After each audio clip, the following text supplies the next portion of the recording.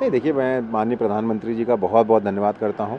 माननीय पुष्कर सिंह धामी जी का, हमारे मुख्यमंत्री जी का धन्यवाद करता हूँ कि जिस तरह से पिछले पाँच साल में केदारनाथ धाम जी के ऊपर काम हुआ है, उसको उसको सुंदर सुंदर बनाने का काम हुआ है, उसको भव्य बनाने का काम हुआ है उससे क्योंकि टूरिस्ट प्रदेश है, हमारे केदारनाथ जी के लिए बहुत लोगों की आस्था है, और आप देखिए अभी तक लगभग लगभग साढ़े तीन, चार लाख वहाँ पे श्रद्धालु आ चुके हैं तो जितना भी वो भव्य बनता जाएगा, उस सौंदीकरण उसका होता रहेगा, उतना ही वो विश्व प्रसिद्ध होता चला जाएगा, और ये सारा जो आज केदारनाथ धाम जी का जो आप देख रहे हैं सौंदीकरण काम, भव्यता देख रहे हैं, उसका सबसे बड़ा हाँ जो मास्टर प्लान बना है, चाहे बद्रीनाथ जी का बन रहा है चाहे वो मान्य केदारनाथ जी का बनेगा बन चुका है।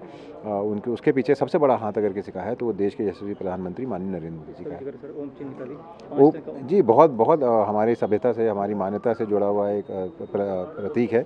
और पहले शंकराचार्य जी की वहाँ पे मूर्ति स्थापित करी गई थी।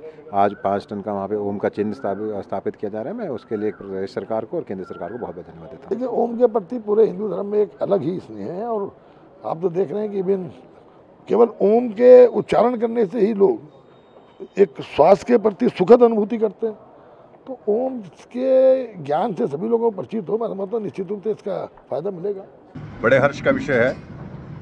भगवान केदारनाथ में ओम शब्द की स्थापना हो रही है। साठ टन का जो है वो ओम बनाया हुआ है कांसे का। साठ टन का, साठ जो है टन का मतलब होता है साठ हज़ार किलो।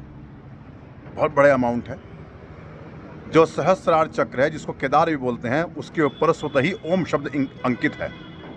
हर चक्र का एक एक शब्द है, बीज मंत्र है। सहस्रार चक्र का जो बीज मंत्र है, वो ओम है। ओम में तीन शब्द हैं, अ, उ और म। अ शब्द जो है, ब्रह्मा का प्रतीक है। अ अ शब्द है, स्तुति का प्रतीक है, अर्थात भगवान विष्णु का प्रतीक है। म शब्द जो है, वो लय का प्रतीक है, अर्थात भगवान शंकर का प्रतीक है। इन शब्द के अंदर, इस ओम शब्द के अंदर तीनों शक्ति विराजमान है।